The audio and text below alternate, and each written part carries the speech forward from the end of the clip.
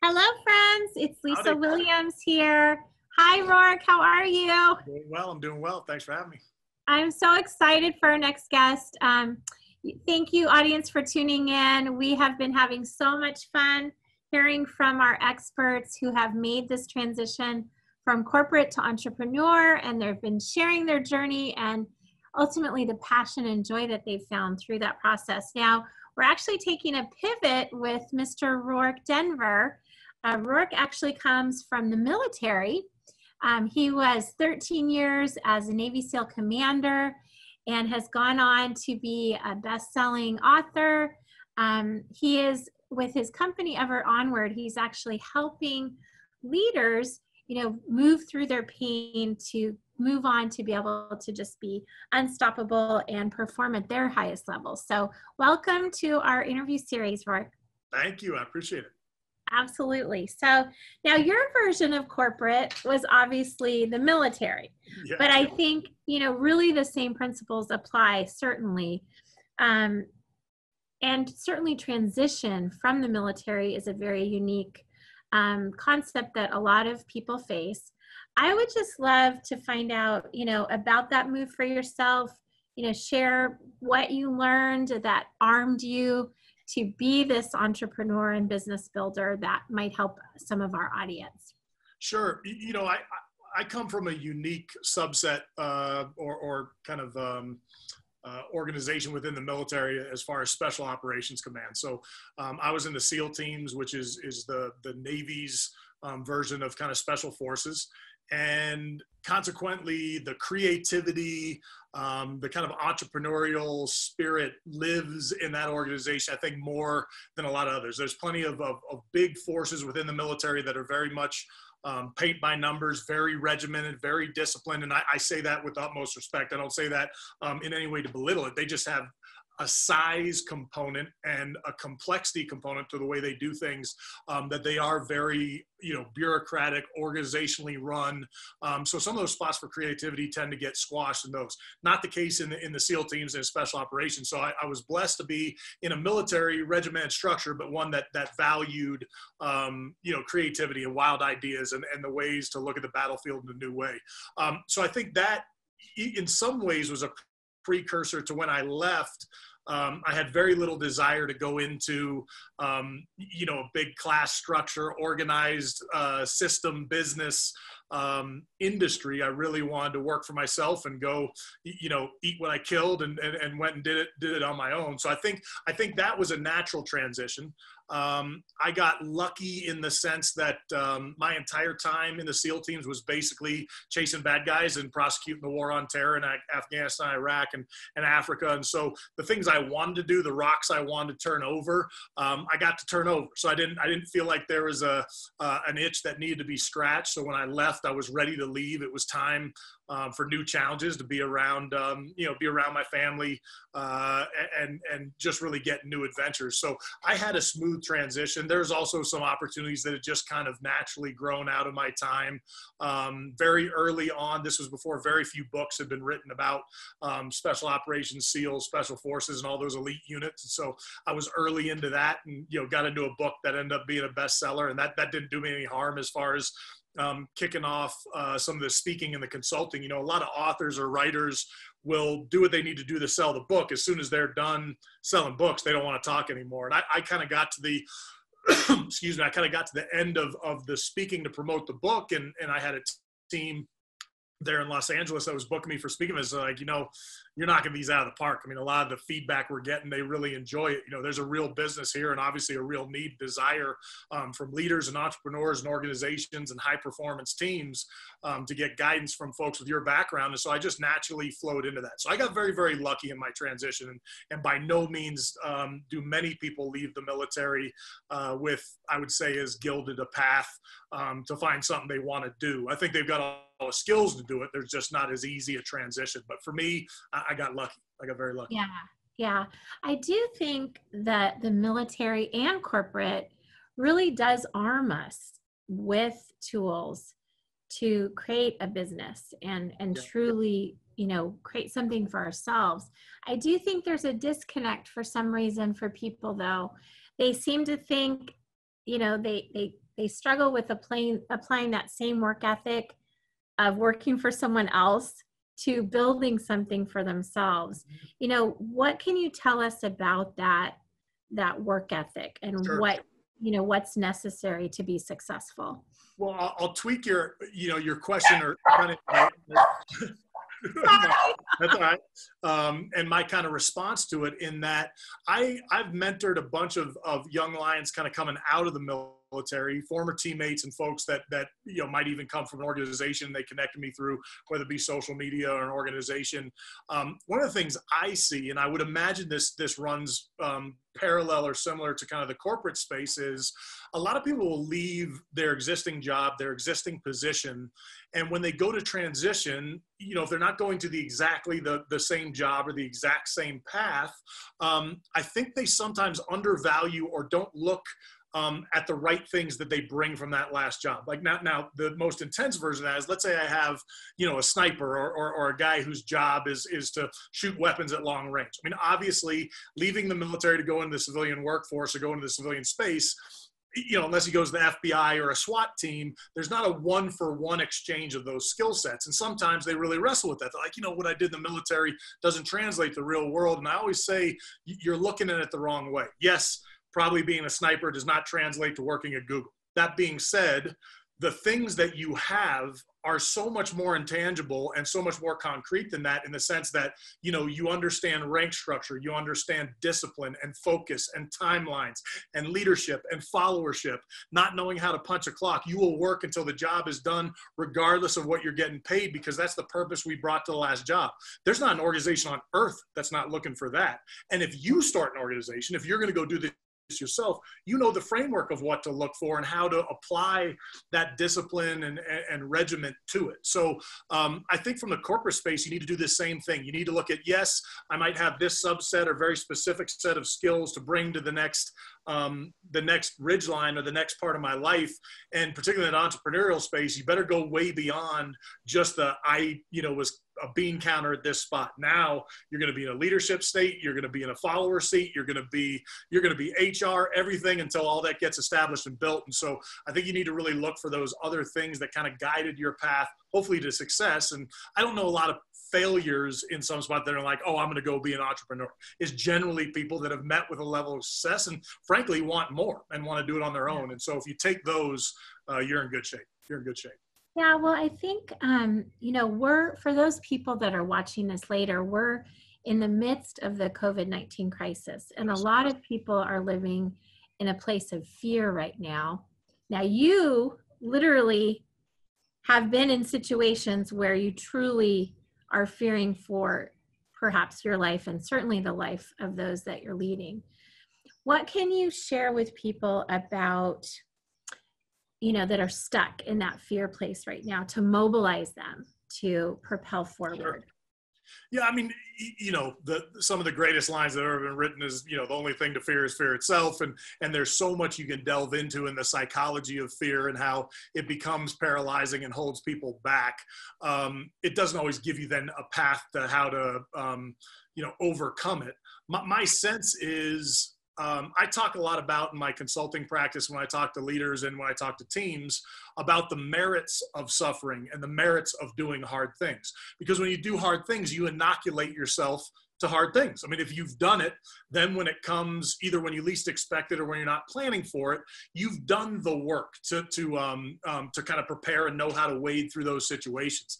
I guess in the job that we did, we probably pushed that needle to the farthest threshold it can be, and everything you know past that part of my life is a reduction in intensity. So you know, I have a ten- tendency when people see that you know I'm not sweating the small stuff, it's because probably everything after my last life is small stuff. So um, I try and bring that into my life. So I guess the, the lesson ends up being um, is don't avoid pain. Don't avoid the tough conversations, the tough um, efforts, the, the task that looks like it can't be achieved.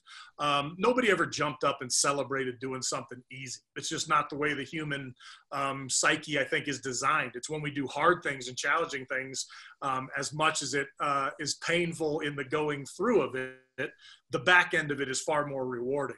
Um, and so that, that's what I'd say. I'd, I'd say really um, don't avoid the tough stuff. Do the tough stuff. So when the tough stuff comes, which you, none of us can avoid, it. sooner or later you're to get hit sideways, knocked on your butt, or or or even worse. And you're either the type of person that's prepared for it, prepared for it, done the work to know how to handle it, or you're not. If you're not, it's pretty hard to catch up uh, if you haven't.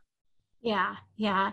Now you um, you're a father and a, a big reason I made my own transition was giving my kids that example that they they can reinvent themselves at any time. I think a lot of people haven't even necessarily chosen what they're doing.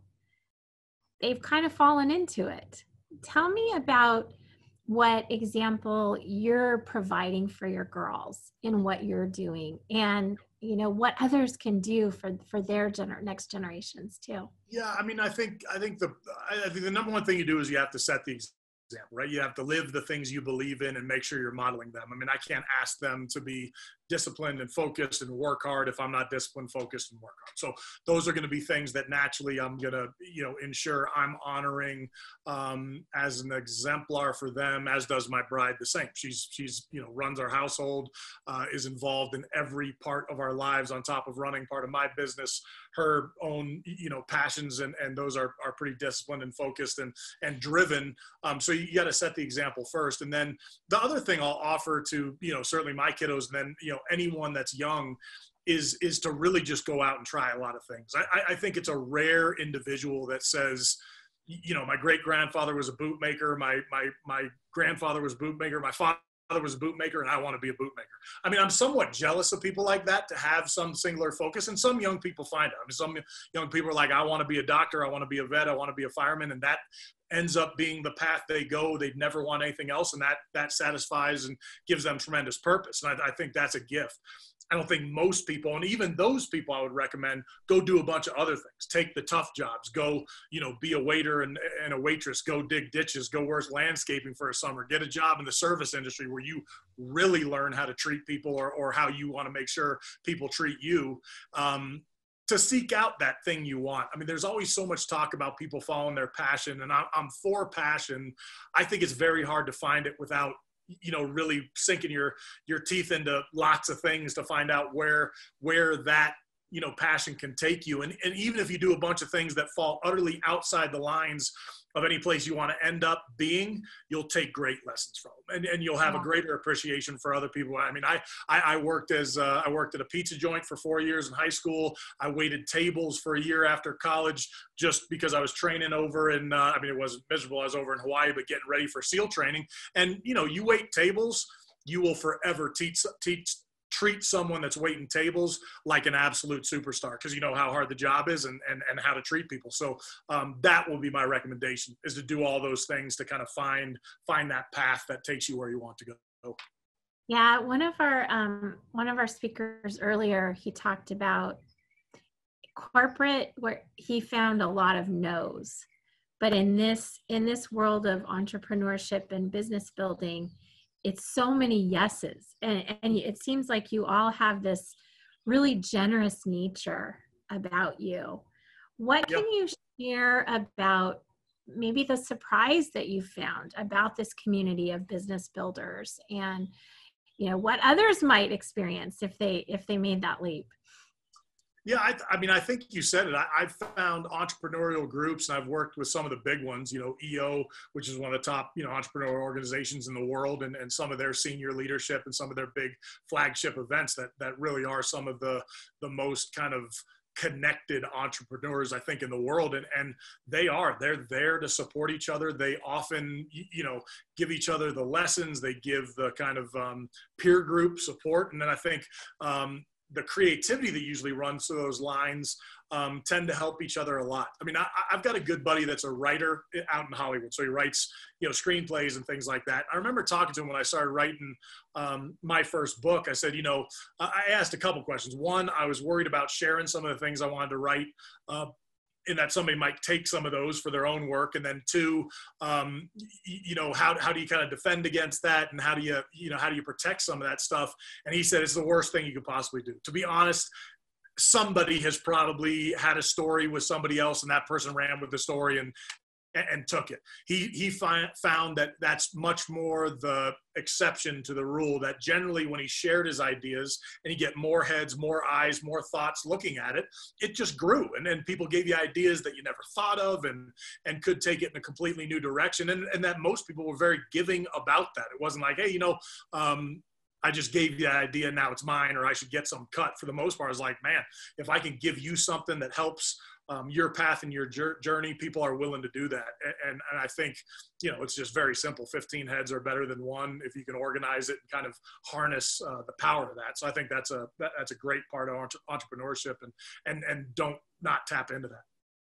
Well, yeah, I mean, I, every one of you have, you have a story and you give credit to the person that shared that wisdom with you, which again, I think, um, for whatever reason, I think a lot of companies have lost that nature of creativity and sharing. And I just think it's fabulous that you're teaching leaders to take that suffering and and go on to higher levels. Can you talk to us a little bit about that training that you do for leaders and and maybe you know who could benefit from your consulting services? Yeah, I mean, there's lots of ways to kind of tap into what I like to do. I mean, I'd say the base of the pyramid becomes kind of the big stage, you know, big events, either big leadership um, you know, offsites or conventions, but corporate uh, America can find me as well, um, either at rorkedenver.com, which is my website, or, or um, Creative Artist Agency out in um, Los Angeles has a speakers division that I speak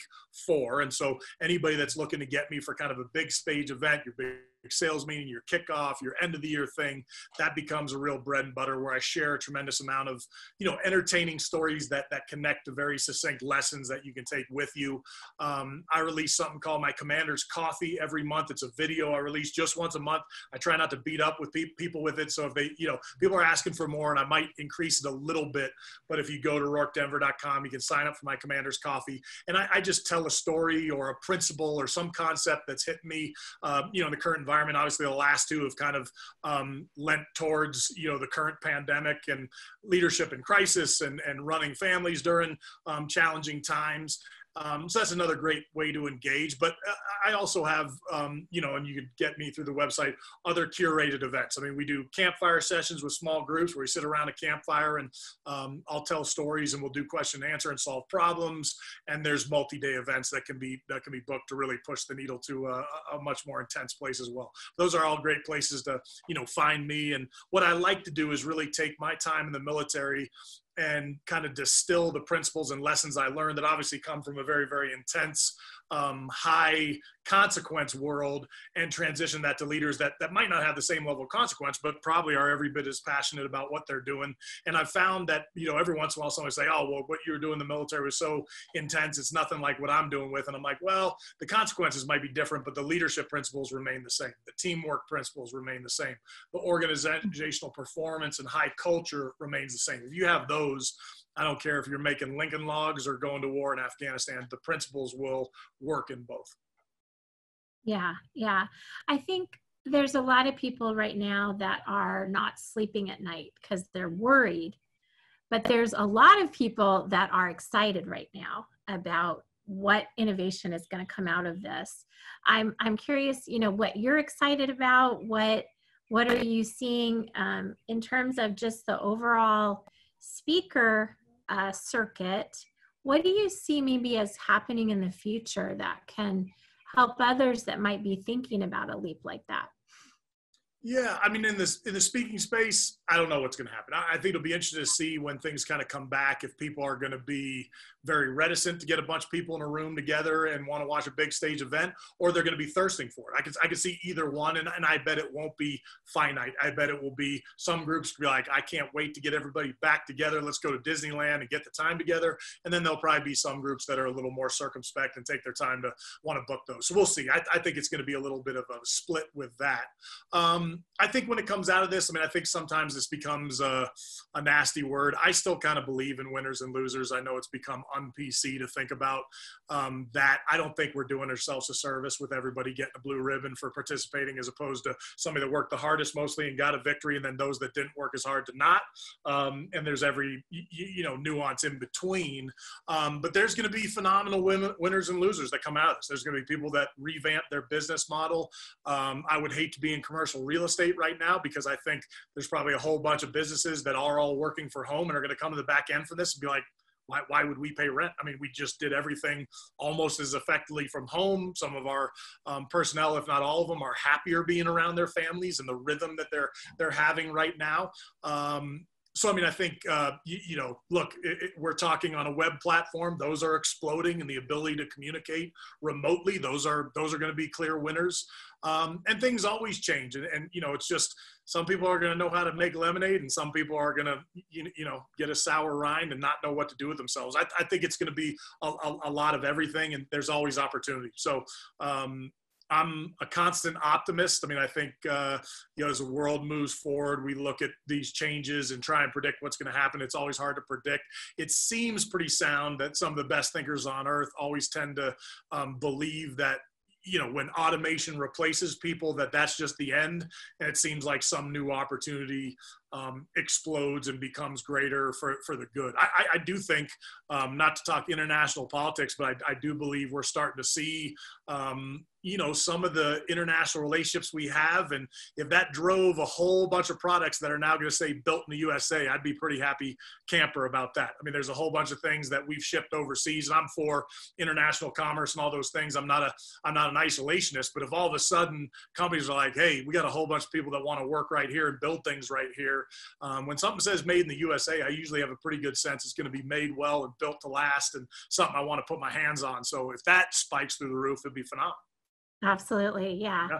Now, I know um, one of the things that I've seen as a really um, important part of building a business is mentorship. I certainly know that the military is um, amazing at mentorship. What can you tell us about the role that that's played in your life? And I, I think there are some people that don't really have someone in their life like that, that they could seek counsel from? What can you say to those people about how to get that? One of my all-time favorite topics almost like you planted that question but we didn't talk about it before. You know just as i think the idea of mentorship and that type of learning uh, are some of the greatest relationships um, you should cultivate and build in your life.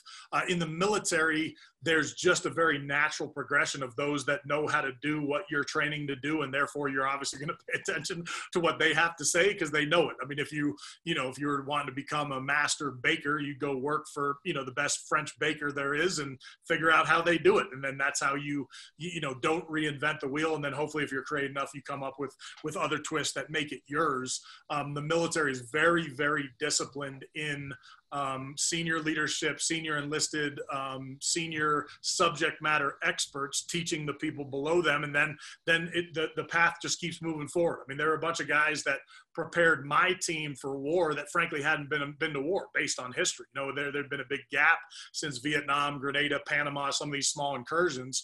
So I had a bunch of guys that put me through my combat training that never been to combat. Well, then my team goes for almost a decade. Now we're approaching two decades of sustained combat. So when we came back to the training grounds, we were we were very armed to change it, update it, you know, say, hey, here's the newest best practices and the way you want to do things. And that just moves the ball down the field and makes everyone better. Um, to the folks listening on this, um, I, would highlight one, be a mentor yourself. You know, you've learned stuff in your life, and whether that's down to a, a church youth group, a Boy Scout, Girl Scout troop, or, or you know, a, a youth sports team, make sure you're mentoring people, particularly young people. Um, but then there's almost no point in your life that cultivating kind of a council of, of mentors for yourself, that mentor you that you can tap into. Um, that that's one of the real secrets. I mean, one of my mentors uh, is in his mid to late 70s this guy has achieved everything I would basically want to achieve, both in family, in business, in finance, uh, in purpose driven work. Um, and you would think he had it all figured out and he has mentors and people that he taps into. And and and I'm you know 40 some odd years younger than him and he thinks of me as somebody that offers a bunch of new ideas and energy and concepts. So you know we're, we're working on projects together and it's just a delight to have those people in your life. So I'm I'm real purposeful about having mentors that can help guide my journey and path and bounce ideas off. It's um I mean that's gold. And if you're not tapping into it you're missing a tremendous resource. Well and I I find I feel like people all they need to do is ask.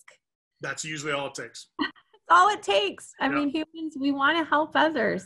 Now i you and i chatted briefly about this and i've had a lot of fun um, hearing about this from our speakers. I find a lot of you have a guiding power in your life. For some it's faith. For some it's just eternal hope. I'm curious about you know what what role faith has has played in your life and um, you know also just for those that that don't have that what what might they you know uncover and reveal in their life if they put some effort into exploring that?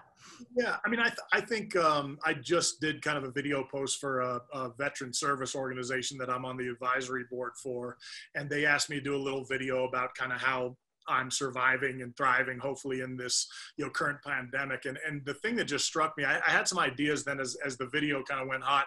Um, it just kind of jumped in my, my my mind that there's in my mind there's this kind of holy trinity that you deal with in life, and that's mind, body, and spirit. And those three things are interconnected. And if you think you can neglect one or favor the other over the two, it's like a, a tripod or a stool. It will not stay in balance. And and I don't think you you know you can't probably do it equally well, but but you better be paying attention to all three. So the mind's easy. That's, you know, schooling, mentorship, reading, thinking, and learning.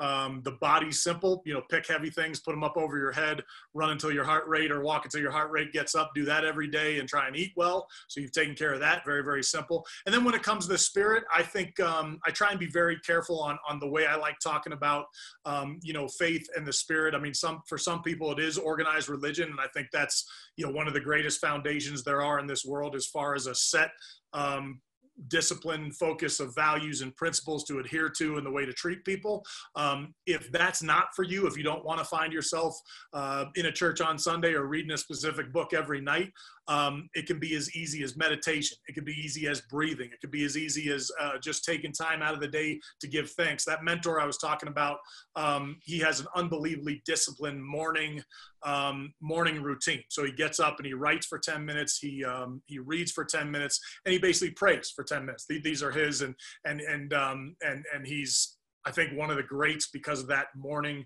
routine. You know, he he is one of those people that has set a disciplined task to start his day, and so. Um, you know, if it's religion, great. That'll give you a good foundation. If it's meditation, I think you're going to get tremendous value about that. If you did nothing else other than wake up in the morning and be thankful and give thanks for, you know, kind of what we all enjoy and what opportunity lies in front of you, um, I think it's going to create tremendous balance in your life. So it's important. It's important. Absolutely. Yeah. Well, um, gosh, we are almost out of time, friends. I have one more question I've really been enjoying asking um, about your, your legacy, Rorke. Um, if you were not able to leave assets to your girls, but you could leave them with nuggets of wisdom or abilities, you know, advice, things like that, what would you leave them? You know, I, I think I'm far less interested in what I would, would leave my family.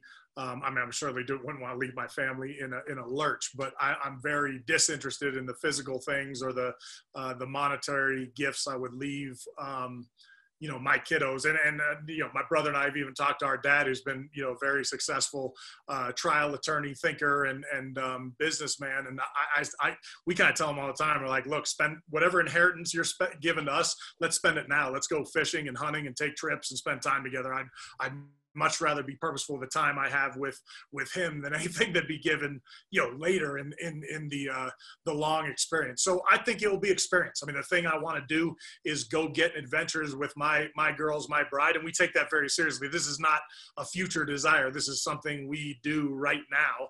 Um, the world's making it a little more challenging, but by no means can you not get creative and get out there. But a lot of overseas time I'm trying to do with my kiddos because I think the gift of the world and seeing other cultures and kind of having a sense of of this greater context of what the world offers and how differently people life live their lives, look at their lives, value things uh, that we value or don't value, uh, is a tremendous gift. And then just the constant pursuit of learning. You know, I want them to just to love learning and to pursue learning their entire lives. If they do that, I think they'll find a very, very rich life and not monetarily.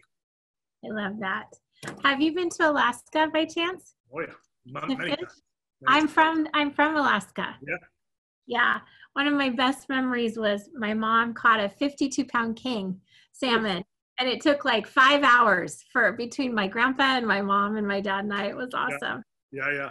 Well, you've been brilliant, Rorke. I so appreciate your time. Yeah. Um, I could feel like I could talk to you forever, but um, to our audience, we so appreciate you tuning in uh, to our Corporate to Entrepreneur series, where we've just been having so much fun hearing from these experts. Um, this is Lisa Williams with Perfect Side Gigs. Bless you in your life journey, and we will see you soon, friends.